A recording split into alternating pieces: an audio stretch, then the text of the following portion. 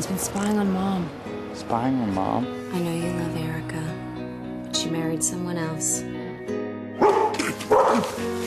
You can't behave like that. She's coming back. Look what you let her do to you, Dad. This is it. This is my life. We both want the same thing to go back to your room, have sex, and never see each other again. Is this a trick? Your sister is a great writer, and it's because she's courageous in her life. She's promiscuous, Dad. It's not the same thing. Now come here. Yes, ma'am. He sleeps with a lot of girls. You're practically guaranteed, you know, wake up with a rash. You're cute, Lou. But you reek of romance and good intentions. I'm not looking for a nice guy. I don't do boyfriends and I don't date. Cool. You're awesome. A writer is the sum of their experiences. I liked your poem. Thanks. Go get some. We're here for the party. You've never had sex. I've never had sex in a closet. You're grounded. Are you kidding me, Dad? You were the one who told me to go out and get experiences. Go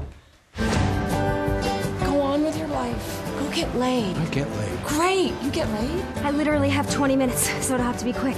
Come on, let's go. Did you stretch? To the left? To the. Yeah. I love you so much.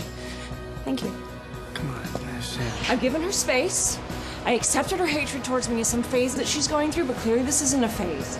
Samantha, wait! Why do you keep running away? Because whatever this is between us, it can't go any further. I won't let it. We're not even in the same species. What's she like? Uh, they're having sex. Go, Rusty! I could hear my heart beating. I have days when I'm not sure I made the right decision. I could hear everyone's heart. Oh my God. And I think that that's what writing is. Like sea leaves the shore if I drift from your side. Honey, you can be sure. I'll come in Hubba hubba. right back through your door.